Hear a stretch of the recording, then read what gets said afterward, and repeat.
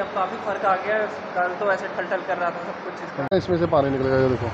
अभी भी मेरे हाथ में पानी लग रहा है. हेलो फ्रेंड्स कैसे आप सब लोग? आई होप कि अच्छे होंगे मस्त होंगे और स्वस्थ होंगे।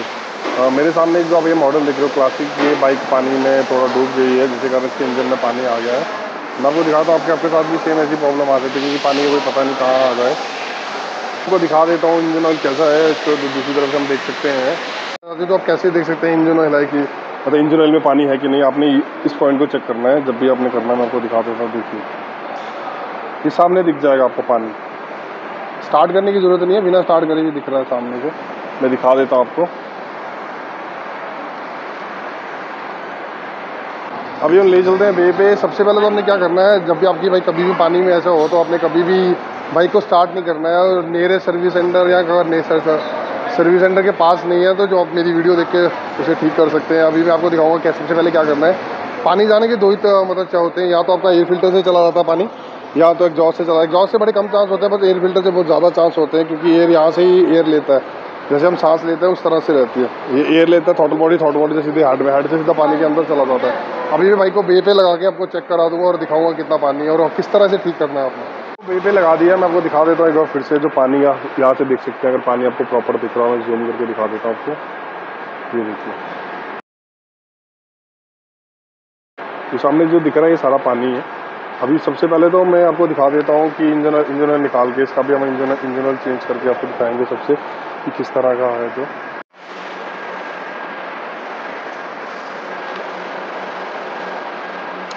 ये देखो।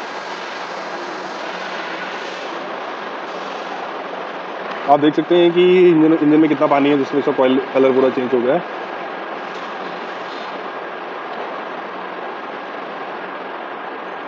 अगर ये बाइक चलती तो 100 परसेंट इसका इंजन पूरा चीज़ हो जाता खुलता पाँच दस किलोमीटर कोई फ़र्क नहीं पड़ता बाइक को चलने में। अगर आप ज़्यादा चला लेते हो तो फिर शायद आपके इंजन में प्रॉब्लम आ सकती है।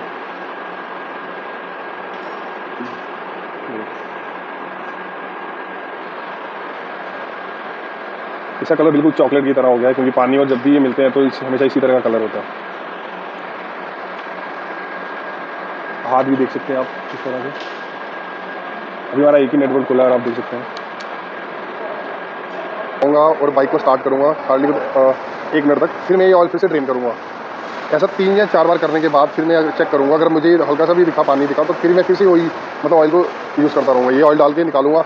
फिर फिर से नया दूसरा पुराना ऑयल लूँगा, फिर डालूँगा, फिर निकालूँगा, वैसा ऐसा करूँगा। जब तक मुझे मतलब कि ऑयल का कलर बिल्कुल ऐसा नहीं दिखता। अगर ऐसा कलर हुआ तो मैं चेंज करता रहूँगा। या तो आप इंजन पूरा खोल के भी कर सकते हो, अगर इंजन नहीं खोल रहा तो आप इस- इसका इससे भी कर सकते हो। पानी तो कहीं ना कहीं से चला जाता है। यहाँ से हल्का सा पानी जब एंटर हो गया तो कहीं ना कहीं से चला जाएगा बीच में। अभी मैं आपको खोल के दिखा देता पूरा बहुत। ये है ये फ़िल्टर की हालत देखो। देख रहे हो? ये देखो, ये फ़िल्टर अभी मैं ज़ोर से दबाऊँगा ना, इसमें से पानी निकलेगा, ये देखो। अभी मेरे हाथ में पानी लग रहा है। दिखाता हूँ मैं आपको, ये देखो।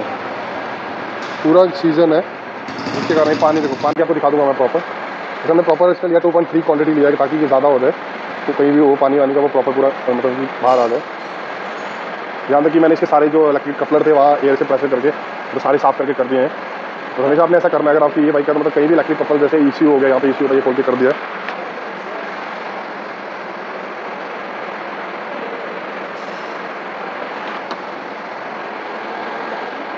अब यहाँ मुझे ब्लैक ऑयल दिख रहा है जब तक मैं गाड़ी स्टार्ट नहीं करता। अभी एकदम गाड़ी स्टार्ट करूँगा फिर आपको बताऊँगा।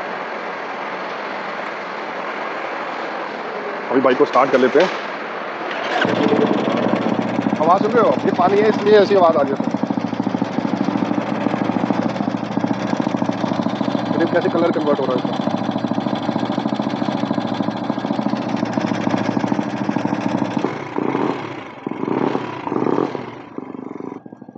नेट खोल रहे हैं हम फिर से।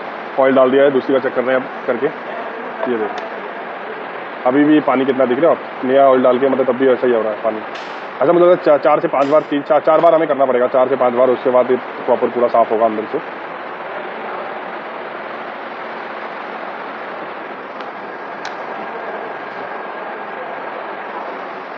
देखिए फिर से भर गया पूरा इतना ऑयल डाला था फिर से वैसा। आप थोड़ा बहुत फ़र्क दिख रहा है आप, आप ऑयल में देख सकते हो ब्लैक में। जैसे हम करते जाएँगे तो कलर अपने प्रॉपर जो ऑयल का कलर है वो निकलता जाएगा। जितना पानी है जो अंदर है, सारा वो निकल जाएगा।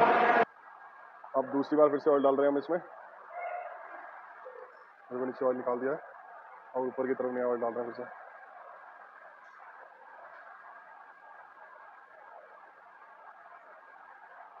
तो पुराने ऑयल की ये हालत हो रही है, नए ऑयल की क्या हालत होगी ठीक है? ये आवाज़ आती रहेगी जब तक प्रॉपर पूरा ऑयल चेंज हो क्योंकि हमने इसका ऑयल फ़िल्टर भी चेंज करना भी ऑयल फ़िल्टर चेंज किया अब इसका ऑयल फ़िल्टर चेंज होगा, जो आवाज़ है, बाद में होगा। क्योंकि जब तक ये नीचे का ऑयल अराउंड आधा घंटा और लगेगा इसको, आधे घंटे तक पूरा रेडी हो जाएगी बाइक और मैं अपने जो फ्रेंड उनको कॉल कर लूँगा, और वो आ जाएँगे बाइक जाएगा अभी डाल रहे हैं फिर से देखिए और फिर नया ऑयल नीचे अभी ये निकला इस तरह से, अभी ऊपर नीचे डाल रहे हैं बट ये नेट बंद कर लिया हमने निकल के अब देखिए, इस पर ट्राई करके कलर का देखेंगे।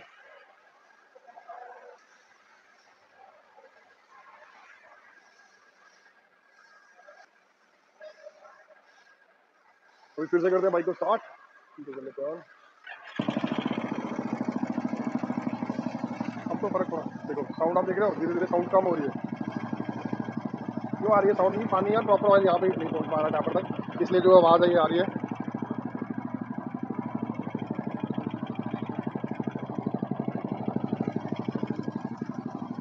अभी आप साउंड सुन सकते हो, देखो एग्जॉस्ट मैंने बंद किया ताकि आपको प्रॉपर आवाज़ सुनाई दे। ये सारी आवाज़ आपके देखते देखते ही गायब हो जाएगी। अभी फिर से चेक कर रहे हैं हम।